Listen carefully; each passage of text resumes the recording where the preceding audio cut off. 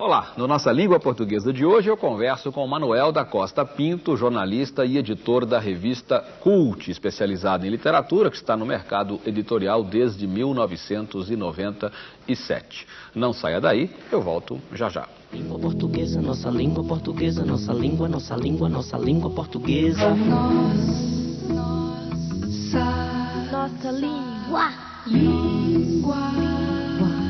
Nossa língua portuguesa.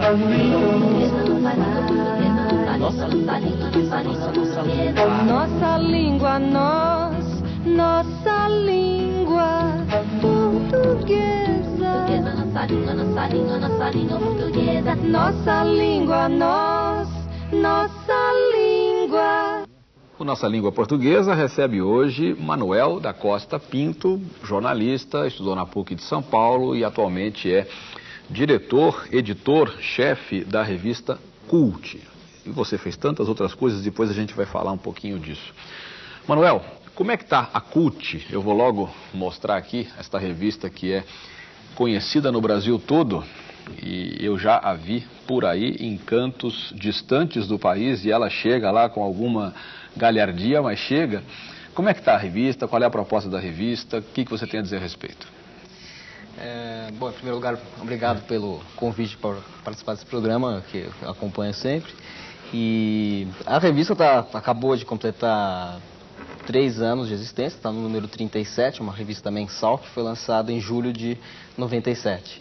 É, então estamos com três anos de edição e já entrando no, no quarto ano.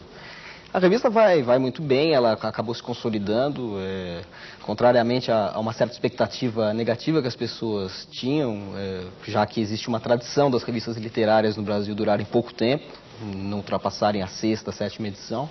A revista conseguiu se, se manter no mercado e, e, e, ter um público cativo que garante a continuidade dela, a periodicidade dela. A revista nunca falhou, quer dizer, todos os meses ela está nas bancas e chegando para os assinantes. Então ela é uma revista que deu certo.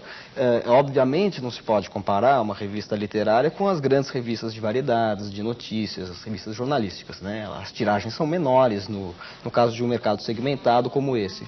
Mas o fato é que ela conseguiu vencer a barreira dos, dos primeiros números e vencer o desafio de, de se transformar numa referência para quem trabalha com literatura é, é, e livros de, uma, de ciências humanas de uma maneira geral no Brasil. Ela tem até um subtítulo interessante, aliás, não sei se passo para o subtítulo ou para o título ainda, depois você uhum. explica por que cult, mas o subtítulo Revista Literária Brasileira. É, né? Revista Brasileira de Literatura. Revista Brasileira de é. Literatura, até troquei as bolas aqui. É, que deixa muito clara a proposta da, da revista, não é isso?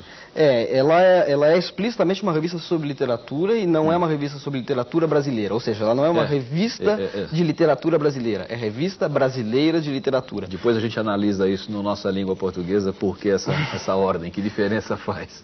É, porque é fundamental, claro, né? Claro. Isso, quer dizer, ela não é uma revista é, cuja proposta esteja restrita à literatura brasileira, à cultura brasileira, embora ela seja uma visão brasileira de assuntos literários de uma maneira geral. Então, é, é, claro que a gente dá um maior peso dentro da revista, é, maior peso editorial aos autores brasileiros, é, vivos ou não, atuais ou não, mas a revista tem uma é, amplitude de temas bastante grande. Né? Então, nós já tivemos capas com autores como Ferreira Goulart, é, João Baldo Ribeiro, Lígia Fagundes Teles, é, Haroldo de Campos, Paz, é, né? José Paulo Paes, é. é. e, e, assim por diante, Machado de Assis, Machado clássicos de Assis. como Machado de Assis, mas também autores de língua portuguesa como uh, Fernando Pessoa, que foi um dos números que foi, foram ultra bem recebidos pelo público, e fizemos também já uma entrevista com o Saramago, quando ele ganhou o prêmio Nobel. Então, a gente da cultura brasileira vai para a cultura de língua portuguesa e depois para outros temas de assim mais universais, autores é, que não estão restritos à nossa cultura. E por que cult? Muita gente acha que é uma, é uma guinada a, a, a aos anglófilos ou a, a, a, língua inglesa e tal, mas não é isso não, né? Por que cult? É, você sabe que tem uma coisa curiosa que talvez você não saiba. Bom, para quem não sabe, o professor Pasquale é colaborador, é colunista da revista Cult desde o primeiro número, nunca falhou, quer dizer, foi um entusiasta do projeto é, desde o início. A gente mal se conhecia, né? Eu tinha sido seu, seu aluno na Folha de São Paulo, né? Eu trabalhava na Folha. Meu pupilo. É, você ficava lá puxando a orelha dos jornalistas. É. Relapsos. seus- é, relapsos, eu, eu me incluí entre eles. É. Então a gente mais ou menos tinha se conhecido, né? Mas você, é, obviamente, o número de jornalistas lá é muito grande. E daí, quando eu te convidei para escrever na revista, a revista nem existia, você deu um apoio muito importante para a revista desde, o, desde o início dela.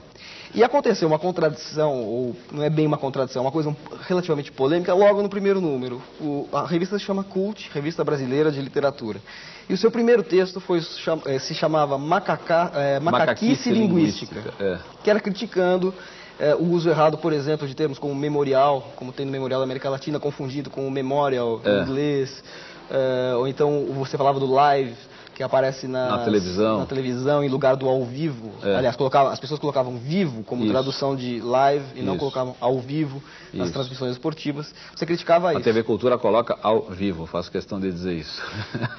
E daí você, é, é, eu recebi um e-mail falando assim, uma pessoa falava assim, não é estranho que a revista é, ch- chame cult, que é uma palavra, um termo em inglês, e É. que o professor Pasquale tenha no primeiro texto criticado a macaquice linguística? É. Na verdade, essa, essa, essa leitura é possível. É. Do cult como uma, uma- um nome inspirado na expressão, no verbo eh, de cultuar, que é É. cult, ou que pode ser também o cult movie, pode ser um, um, uma- uma- um adjetivo nesse caso, né? Isso. No cult movie, por exemplo, como Isso. se usa o, o filme, Filme, culto, é. filme cultuado por um determinado grupo. Existe essa, essa possível leitura, né?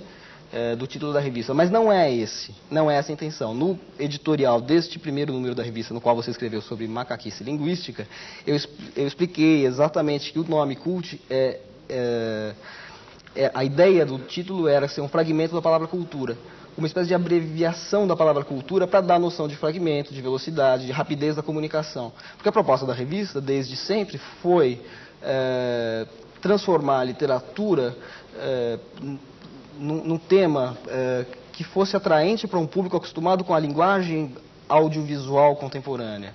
Quer dizer, a ideia sempre foi não dar tra- um tratamento à literatura que fosse um tratamento academicizante da literatura, mas que fosse um tratamento sintonizado com a linguagem visual que hoje está presente no cotidiano de todas as pessoas eh, nos meios de comunicação.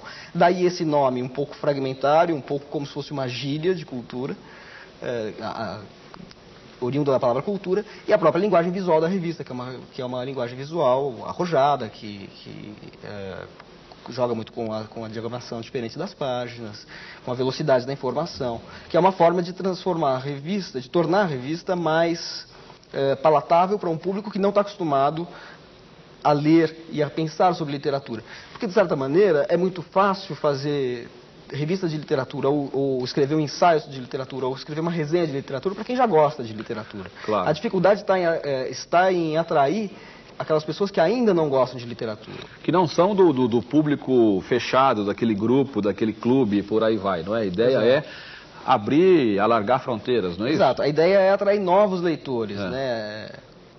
Aumentar, ampliar o, o- o campo de, vamos dizer, o, o horizonte de, de- de pessoas que leem, que Sim. gostam da literatura. As pessoas muitas vezes vão procurar um autor, vão se informar sobre o autor, porque leram numa revista como a Cult, ou viram numa revista como a Bravo, como um caderno como Mais, da Folha de São Paulo, o caderno 2 do Estado. É, é- a função do jornalismo cultural, em grande parte, é essa. Bom, é, você trabalhou na Folha de São Paulo, no Caderno Mais, não é? E, e trabalhou também na EDUSP. Você tem uma experiência bastante grande em relação a isso, a esse meio cultural. No que a CULT pode se diferenciar eh, das outras publicações no que diz respeito ao acesso, ou seja, o- esse, esse gancho que você deu aí no fim. Eh, o público que vai entrar na CULT vai, e, que, e que seja mais ou menos leigo, ou nem tanto, mas também não seja profissional da coisa, dá para criar raízes, começar a solidificar? No que a, a CULT se diferencia em relação a isso? É, a proposta, vamos dizer, interna, aquela que o espírito da revista, aquilo que eu procuro passar para os colaboradores, para as pessoas que eu convido para escreverem, a o espírito da revista deveria ser textos com um gancho jornalístico, ou seja, a revista tem que ter, te- ter temas atuais para que eh, haja uma empatia com, com o leitor, para que o leitor sinta que a revista está atualizada, ela está inserida num contexto contemporâneo, ou seja, ela não é uma coisa ela não é, um, não é um museu literário, ela é uma coisa viva, ela É. pega temas que são de atualidade. Então ela tem uma pauta, né, uma temática jornalisticamente eh, atual, contemporânea, e um tratamento ensaístico que deveria ser, eh, cada texto, seja uma resenha, seja um ensaio, seja uma entrevista, deveria ser suficientemente eh, clara para introduzir o, o- o autor, o leitor novato naquele assunto e suficientemente profunda em contrapartida para que trouxesse alguma contribuição nova à reflexão sobre um determinado tema para aquela pessoa que já conhece aquele tema. Então, uma resenha, o ideal, eu não digo que isso sempre acontece na revista, porque é difícil, é, mas o ideal é que um ensaio sobre Machado de Assis fosse o ideal seria que ele fosse claro para explicar eh, o que é Machado de Assis para uma pessoa não acostumada, para um leitor que está tomando o, o contato inicial assim com Machado, mas também tivesse uma contribuição pessoal, uma visão pessoal do autor desse ensaio, de modo que aquele especialista, aquele estudioso de Machado, já acostumado a ler não só Machado, mas toda a sua vasta bibliografia, sua fortuna crítica, também essa pessoa pudesse eh, eh, encontrar ali naquele texto algo de novo, algo de, algo de interessante, instigante. Isso é o ideal. A realização é outra, são outros 500. Paciência. Bom, você falou em ensaio, falou em, em resenha, e eu queria que você aproveitasse a oportunidade e explicasse para o nosso público, que não é necessariamente especialista nisso, a diferença entre ensaio entre, e, e resenha, por exemplo. O que, que ele vai encontrar na CULT em relação a isso? É, eu diria que a resenha basicamente é, é, é uma é uma análise de um determinado livro. A resenha é uma análise feita a partir da publicação de um livro. Então é lançado um novo livro, por exemplo, do Haroldo de Campos. Então eu convido um, um professor universitário, um, jornalista, um crítico literário, para escrever uma resenha desse livro. Então ele lerá o livro e vai fazer uma, uma- uma um comentário cerrado, ou seja, fechado naquele livro. Fazendo referências, obviamente, a um, ao universo cultural em que se insere o livro e em que se insere o autor, mas basicamente ele vai estar centrado naquele, naquele tema, daquele livro. O ensaio já é uma visão muito mais pessoal. Seria interessante falar um pouco do ensaio rapidamente, que existe uma grande diferença entre o ensaio como se o- é, é, o termo ensaio como se usa hoje e o termo ensaio nas suas origens.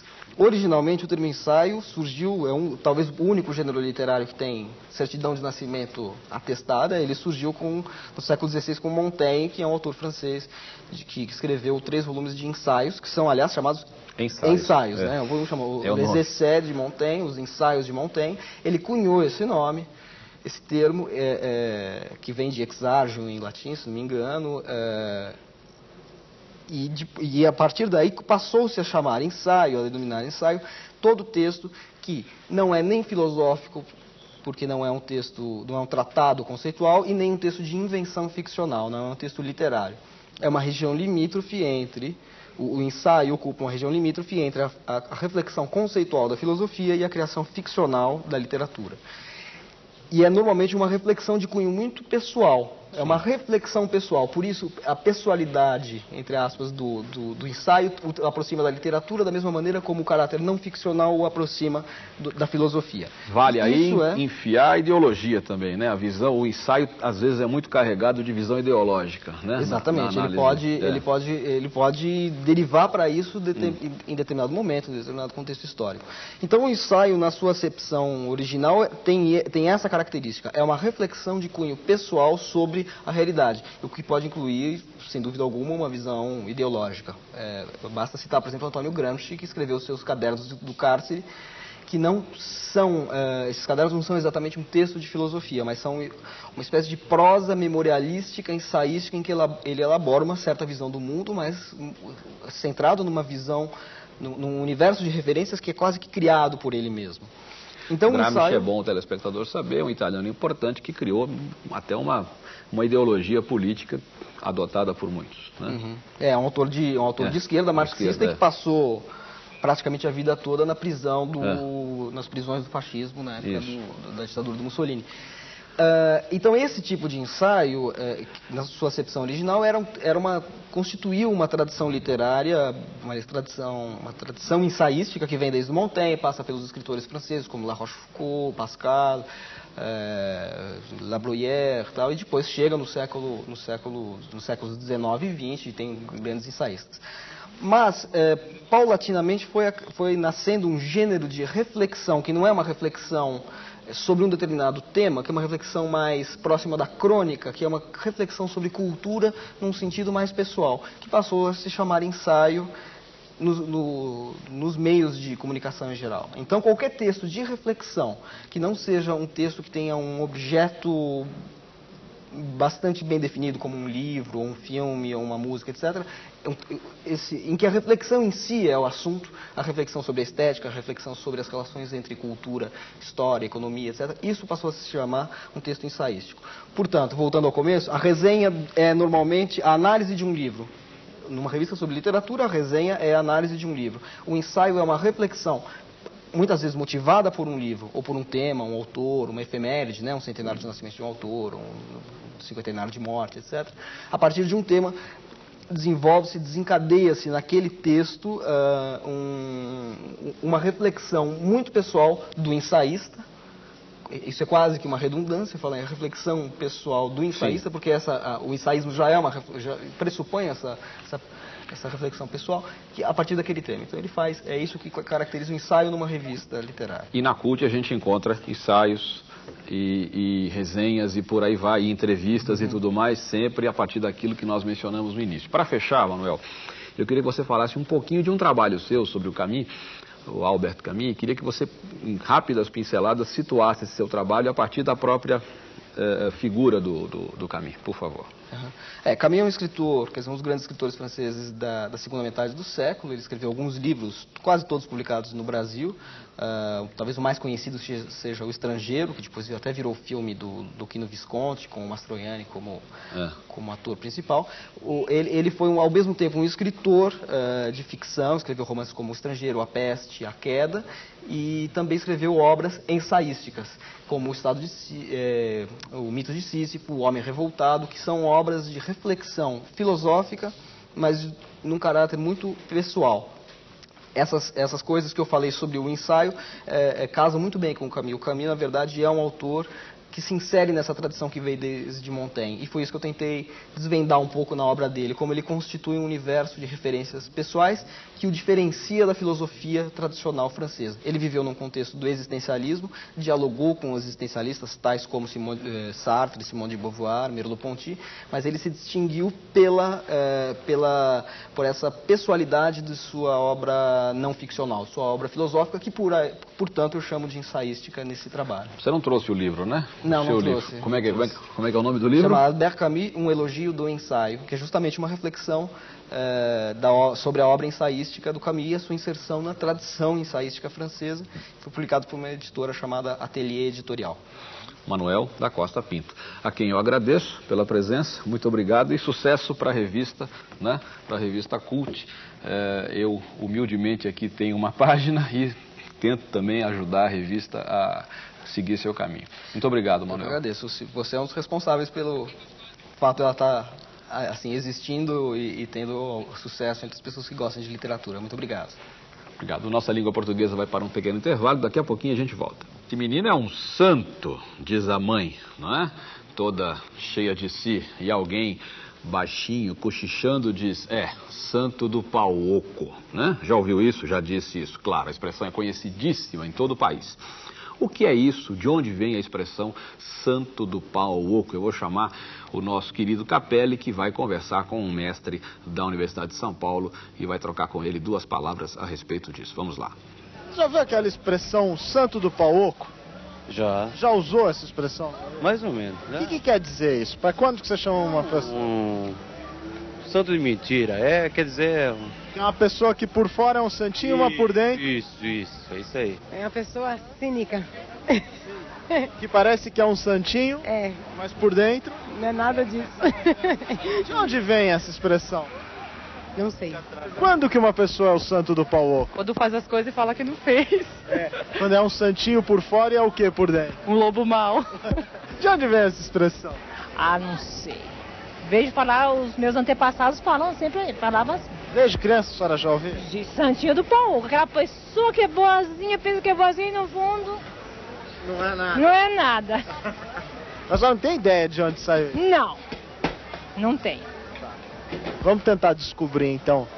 De onde saiu esse santo do pau oco? É, é uma expressão que se encontra em muitas frases de uso popular, corrente no Brasil principalmente, é, ser um santo do pau oco, que envolve um, uma,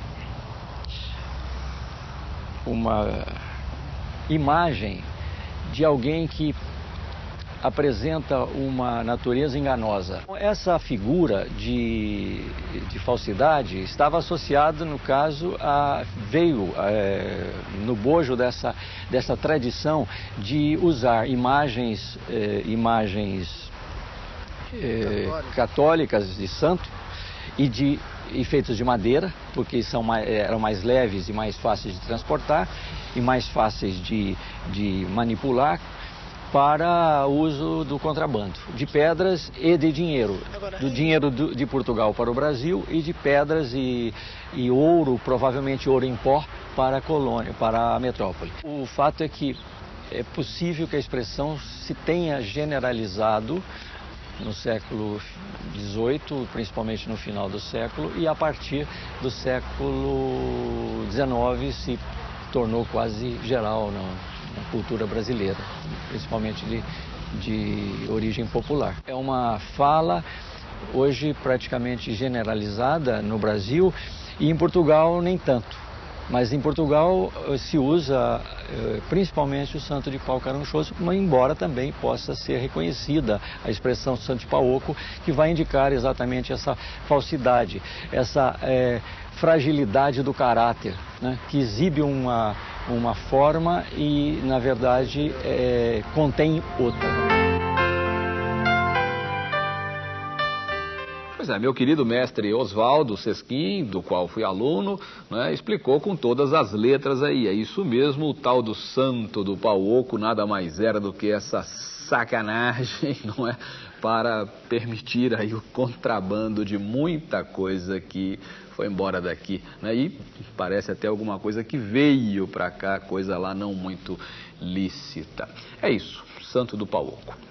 Nossa língua. O poeta sempre quer que pelo menos um, pelo menos umzinho de seus versos caia na memória popular, no uso do dia a dia, nem que o povo se esqueça do autor, nem que o povo se esqueça do nome do poema, nem que a coisa fique perdida como se tivesse caído do céu. Esse é o grande sonho de todo poeta, que um escrito seu se transforme em voz corrente, independentemente da lembrança de quem escreveu, de onde estava e por aí vai. Certamente um desses textos foi escrito por Fernando Pessoa. O poema se chama Autopsicografia e todo mundo sabe pelo menos o comecinho, não é? O poeta é um fingidor, finge tão completamente que chega a fingir que é dor a dor que deveras sente. E os que leem o que escreve, na dor lida sentem bem. Não as duas que ele teve, mas só a que eles não têm. E assim, nas calhas de roda, gira a entreter a razão esse comboio de corda que se chama o coração. Pois é, o poema se chama autopsicografia, como eu disse. Na palavra autopsicografia existe o prefixo auto, que significa por si, de si, por si mesmo, de si mesmo, não é? E psicografia, a descrição do que? Da personalidade, descrição do próprio, do próprio, do eu, né, de quem quer que seja. A autopsicografia pressupõe, portanto, a análise de si mesmo e, em tese, é estranho que o analista e o analisado sejam o mesmo ser. Isso exige que o poeta se distancie para que a análise seja feita de forma mais, mais competente, né? O que faz o, o, o Pessoa aqui no, no, neste poema é começar assim, o poeta, mas quem é o poeta? Ele é poeta também. Então ele faz aqui uma declaração que pode servir para ele ou para qualquer poeta em qualquer situação. O poeta é um fingidor. Finge tão completamente que, que chega a fingir que é dor a dor que deveras sente, que realmente, que muito sente, que sente profundamente.